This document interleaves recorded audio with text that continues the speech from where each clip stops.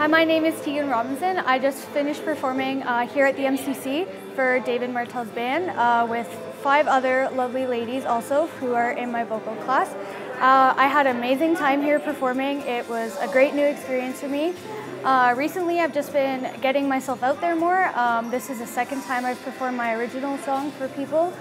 Um, I just had a great time. I met a whole bunch of new people, uh, got to talk to the band afterwards, which was great.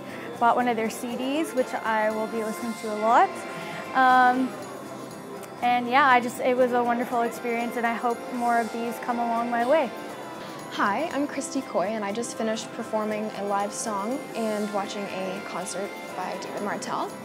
Um, it was produced by Stellula, and I'm very thankful for them for bringing us into this event and giving us the opportunity to like headline a professional artist and have this whole experience with like performing in front of an audience that was you know diverse. There were young people there were older people.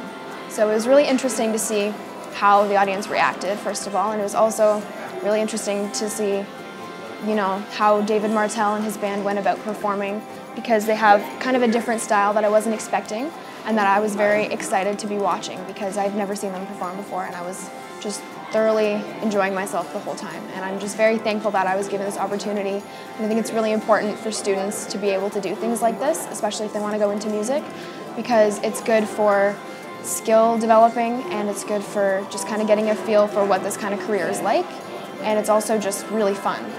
Hi, my name is Dustin Legault, and I uh, I was in Stellula Fest, Guitar Fest back in 2012. And uh, yeah, I've come a long way since then. And Stellula really kind of opened doors. That was like the first time in high school I got to play anywhere besides my high school. And really started opening doors, meet people, network with people. It was, uh, it was a great experience. You gotta be patient. It doesn't come overnight. You gotta work and work. You can never stop learning. Keep writing, keep learning you'll just get better and better. You have to go out and network, and Stellula really helped with that.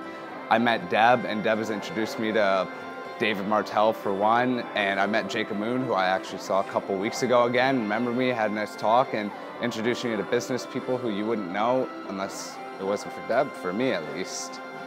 It's, you might know someone, and they can introduce you to more people. More people you know, the better.